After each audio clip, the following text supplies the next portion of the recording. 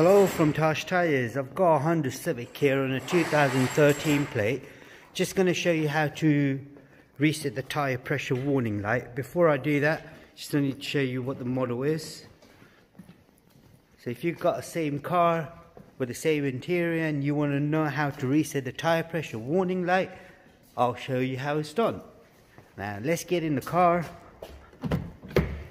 This one's got a quite simple procedure.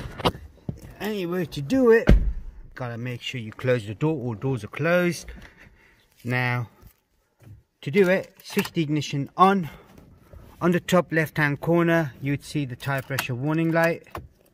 That's the warning light right there. We're gonna get rid of that warning light. All I now do is, if I zoom in a little, uh, maybe zoom out a little.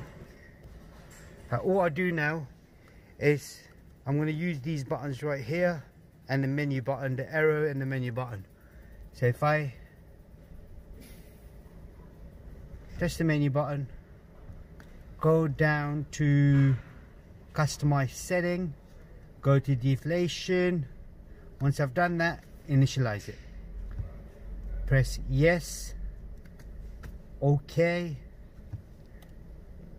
That's all done now. That's all you got to do on this particular model if if there is anything else you need to know please do let us know. We'll try helping you out. And another thing to see where the tire sizes are it's just right on the pillar here.